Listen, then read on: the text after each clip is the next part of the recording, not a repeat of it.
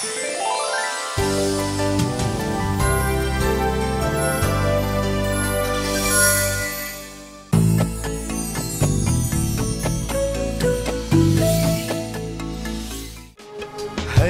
गहरे रंगों वाली सूरत की तस्वीर। सीरत से तो बन जाती है, बिगड़ी हुई तकदीर। किसकी है दुनिया में शोहरत? सूरत या सीरत? सूरत या सीरत? सूरत या सीरत?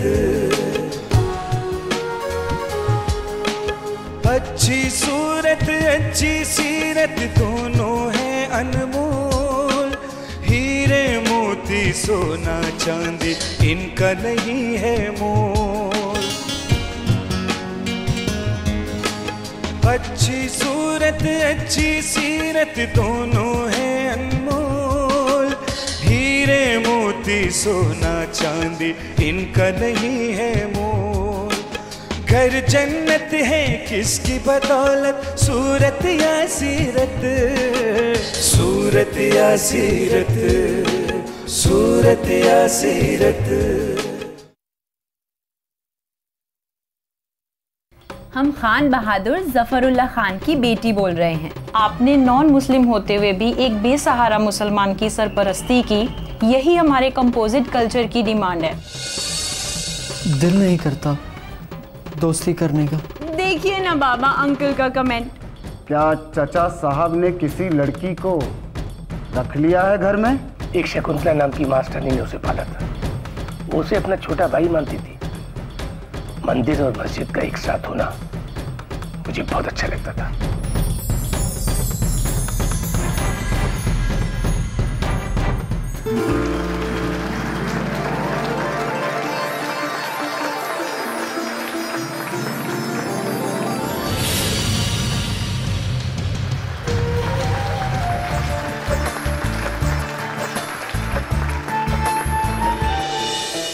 दोस्तों,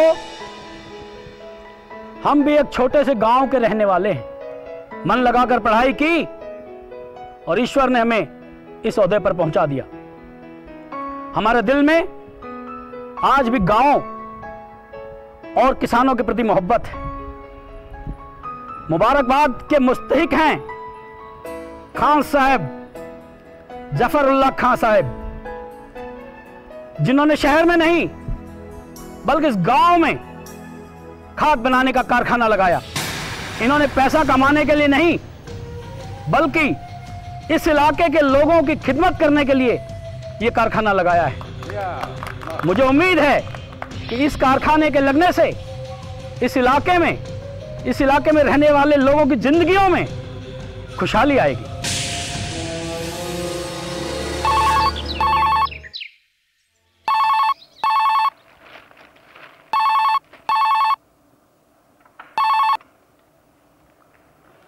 हेलो क्या मैं खान बहादुर जफरुल्लाह खान साहब से मुखातिब हूँ। जी हाँ बोल रहा हूँ। आप कौन? जी मैं आपका सेवक विधायक रामपाल।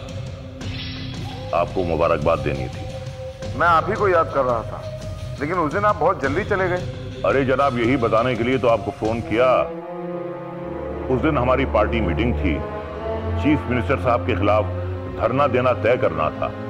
इसलिए जल्दबाजी में आपसे बिना मिले चला आया इसकी माफ़ी चाहता हूँ। लेकिन किसी दिन तशरीफ़ लाइए ज़रूर। आप बुलाएँ और हम ना आए। ऐसे तो हालात नहीं ज़रूर आएँगे साहब।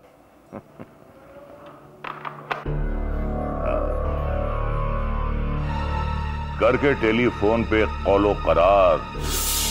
दुश्मनों से कर रहे हैं हम फिर से प्यार। हुजूर उस दिन तो आप आग बबूला होकर वापस चले आए। फिर आज इस शेर का मतलब? अबे उल्लू अगर तू ये सब समझ जाता तो तू विधायक रामपाल ना होता। हुजूर दुश्मनों से दोस्ती का मतलब नहीं समझा? इसी को तो राजनीति कहते हैं।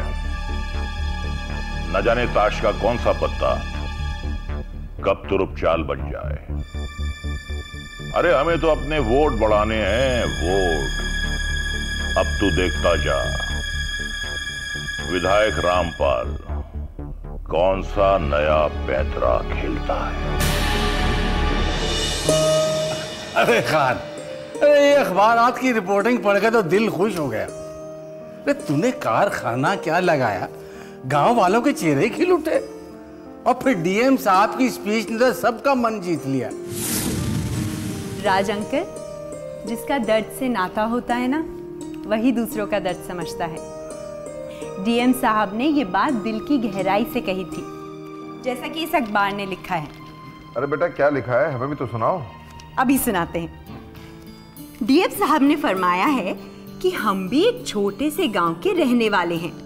हमने दिल लगाकर पढ़ा हमारी मेहनत और ईश्वर की मेहरबानी ने हमें डीएम बना दिया। मुबारकबाद के मुस्तक हैं खान बहादुर, जफरुल्ला खान साहब।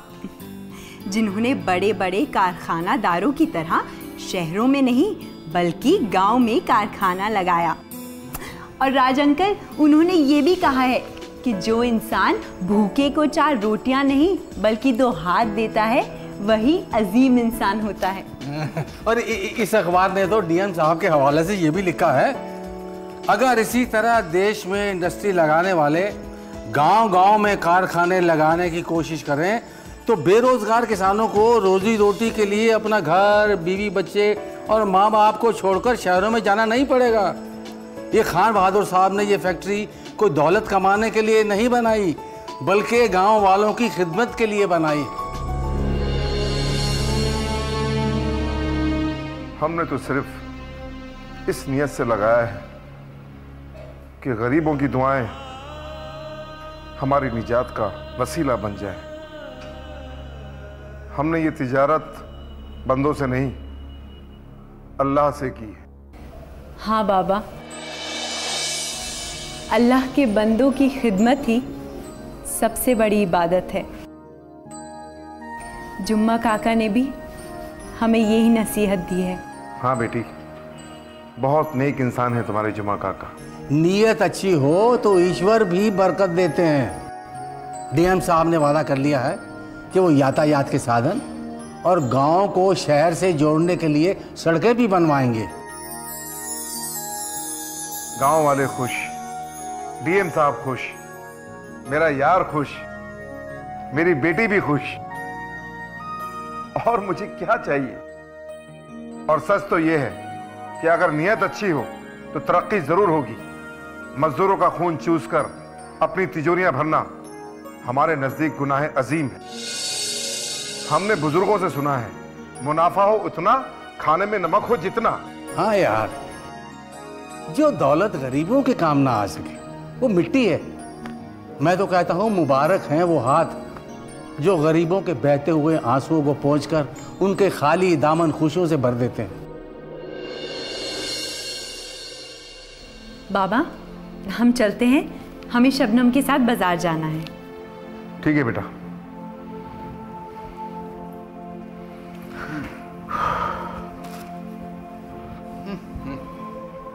हुजूर कोई मोहतरमा आपसे मिलना चाहती है। कौन?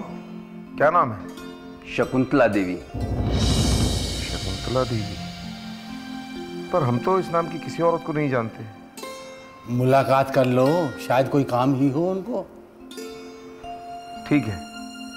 आप उन्हें बाहर वाली बैठक में बिठाओ हम अभी आते हैं।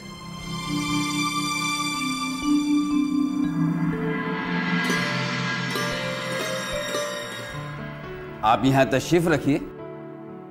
खान बहादुर साहब अभी तशरीफ़ लाते हैं। शुक्रिया। चलो भाई राजनारायण देखते हैं।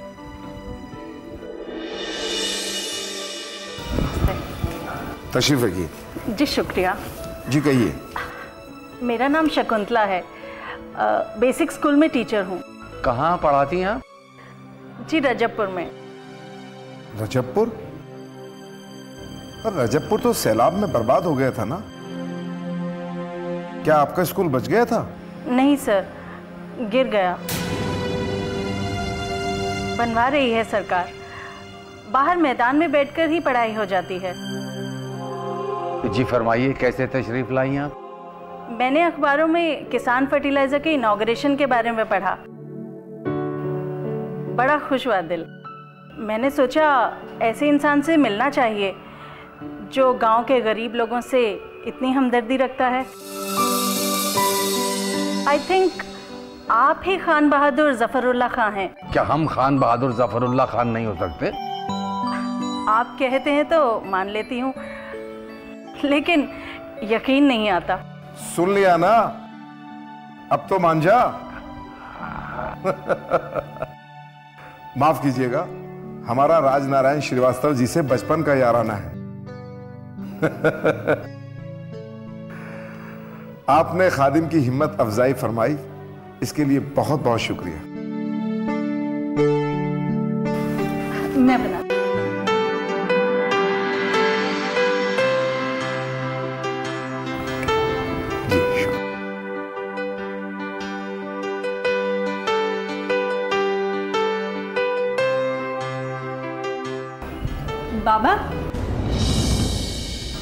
जा रहे हैं।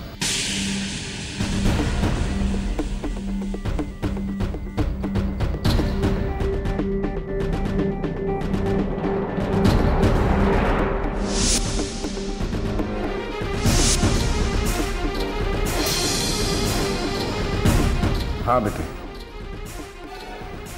यह है हमारी बेटी फौजिया।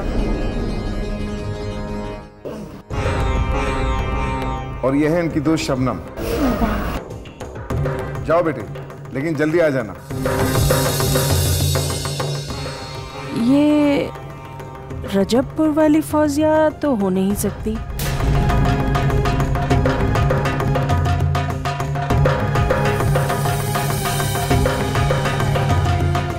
कहाँ खो गई आप?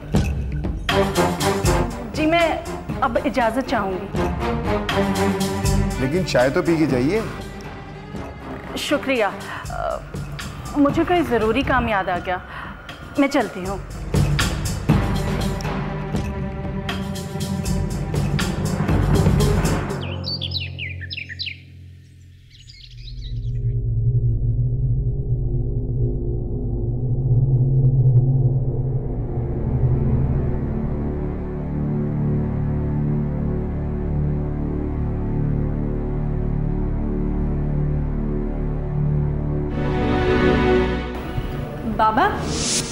हम जा रहे हैं।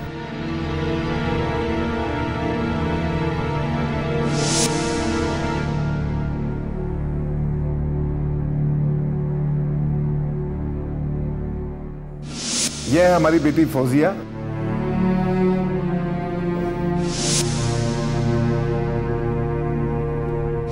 दीदी दीदी दीदी रशीद कहाँ है? अरे गया होगा अपने दोस्तों के संग खेलने? आओ बैठो।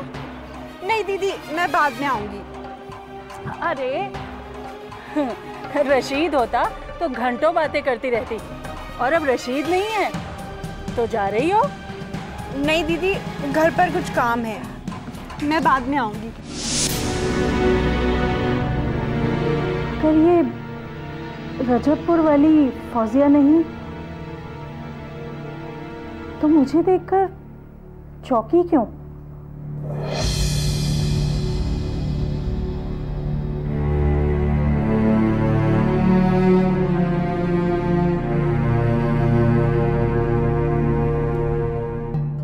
रशीद को बताऊँ या ना बताऊँ? अगर बताती हूँ तो वो डिस्टर्ब होगा। और उसकी पढ़ाई में खलल पड़ेगा। नहीं नहीं। मैं उसे नहीं बताऊँगी। मैं खुद ही पता करूँगी।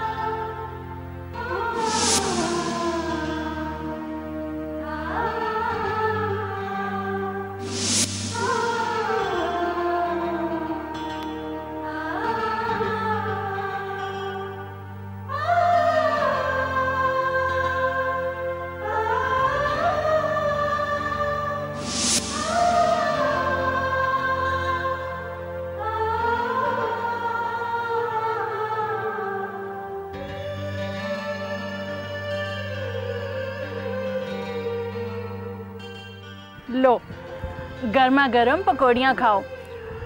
और साथ में हरे धनिए की चटनी भी है।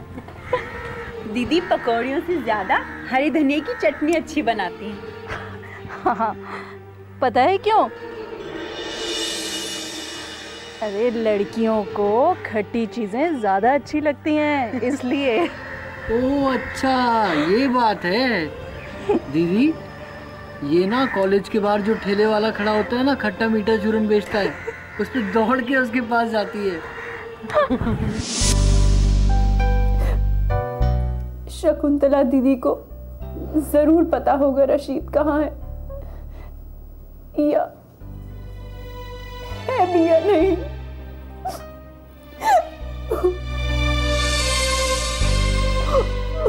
क्या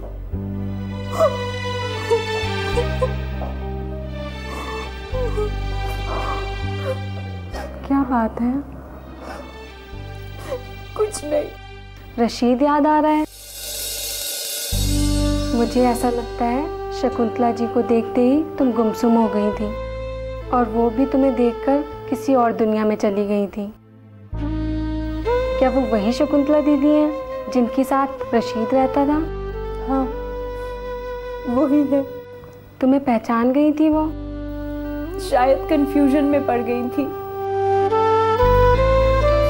उन्होंने मुझे रजबपुर में रहने वाली एक आम लड़की के रूप में देखा है। इस आलीशान कोठी में रहने वाली खान बहादुर जफरुल्ला खां की बेटी के रूप में नहीं। उन्हें रशीद के बारे में ज़रूर पता होगा। तुमने पूछ क्यों नहीं लिया उनसे? वो तो जानती हैं तुम्हारे और रशीद के रिलेशन के बारे में। कैसे पूछ लेती? सबको पता चल जाता।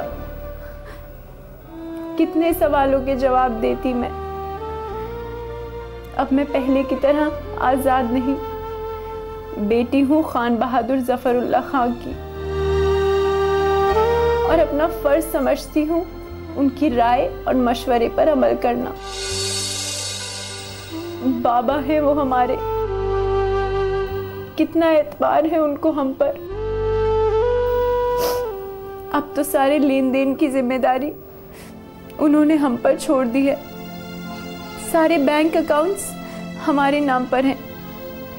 शहजाद नगर की ज़मीन की रजिस्ट्री भी हमारे नाम पर है। तो फिर रशीद? खुदा करे वो ज़िंदा हो। अगर है तो हम उसी से शादी करेंगे। वरना हम बाबा से कह देंगे कि हम कभी शादी नहीं करेंगे। मान जाएँगे बाबा?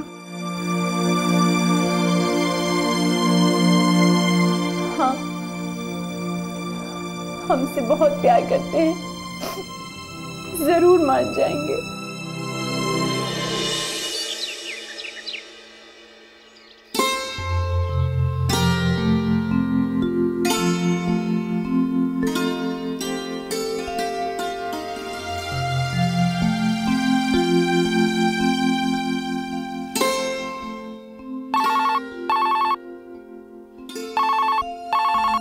फौजिया बिटिया फौजिया बिटिया। जी मुंशी काका।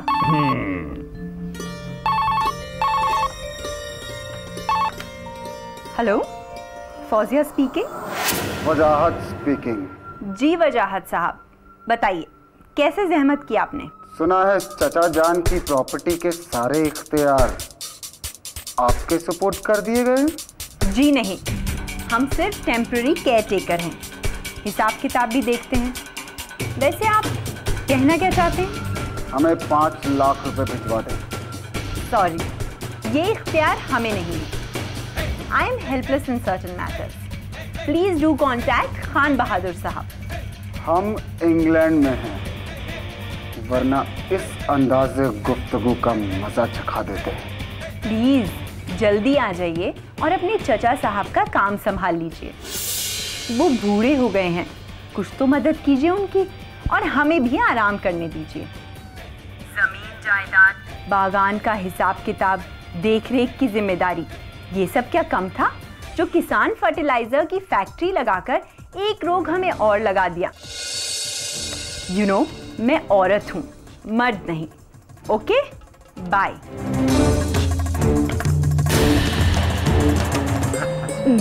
लो कर लो बात। बेटिया तुमने तो कमाल ही कर दिया। वजात साहब की नींद ही उड़ा दी। मुंशी काका मैं उन्हें ठीक करने का रास्ता ढूंढ रही हूँ।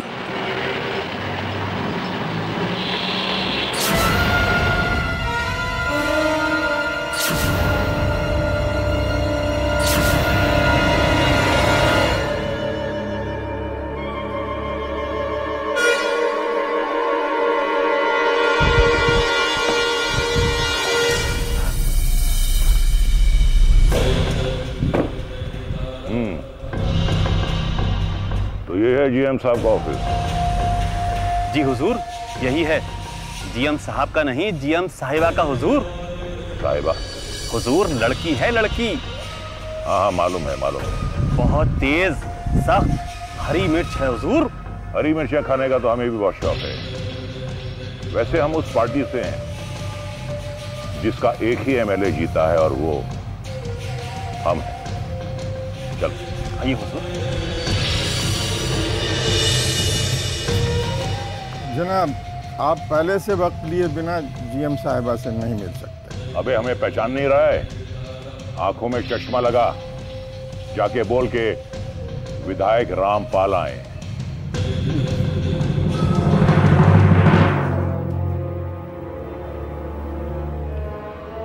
विधायक रामपाल जी आए मैडम जी। कितने लोग हैं? तीन लोग हैं मैडम। एक काम करो, सिर्फ़ एक कुर्सी रखो, बाकी हटा दो।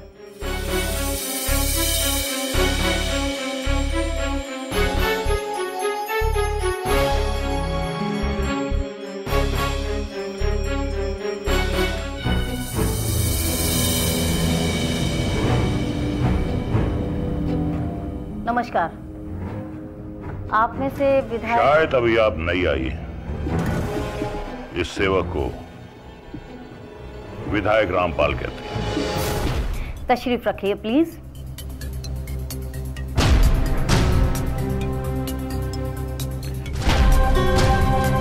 क्या आपके दफ्तर में एक ही कुर्सी है? जी और भी हैं। अलग मीटिंग रूम में पड़ी हैं। देखिए ये तो ऑफिशियल काम करने की जगह है हमारी। और फिर ये हमारे मिलने का वक्त भी नहीं है। और आप विधायक हैं तो हम मिलने से इनकार भी नहीं कर सकते थे। और फिर हमें भी आपसे किसी ना किसी काम के लिए तो मिलना ही पड़ेगा।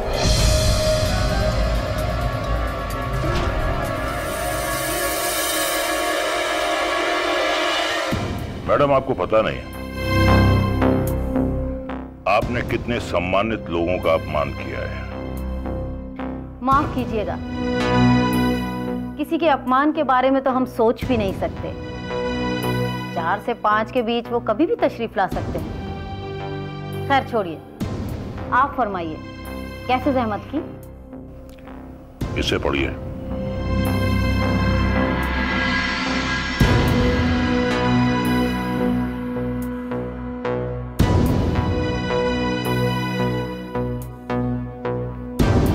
इन्हें तो हम जानते भी नहीं हैं। जानते हैं या नहीं जानते हैं?